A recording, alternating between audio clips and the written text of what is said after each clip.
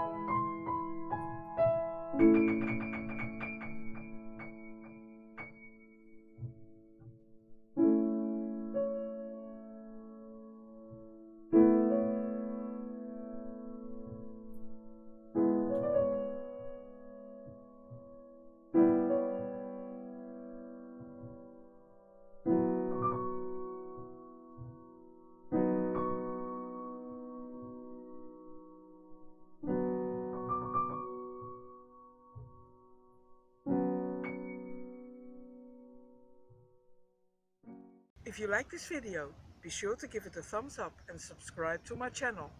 And of course, thank you for watching.